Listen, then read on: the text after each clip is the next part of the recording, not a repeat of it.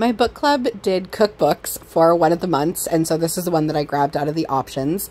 And so I went through it with my daughter to see if there was anything that we could make together, and we made these cute meringue cookies. Um, so the meringue recipe, if you have a family favorite, go for it. Um, but the meringue recipe was super simple. You then plop them on your cookie sheet, but turn the colors so these become sorting hat cookies.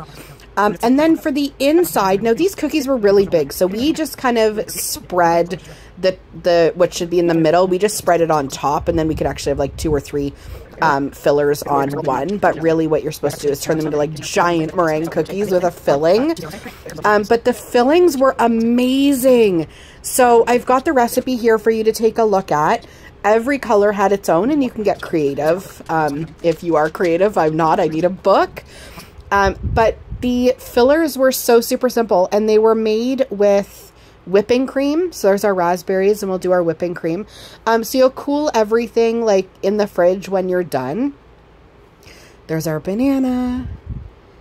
I think kiwi's coming up next. Yeah, kiwi. Those were a little hard to mash though, I'm not going to lie.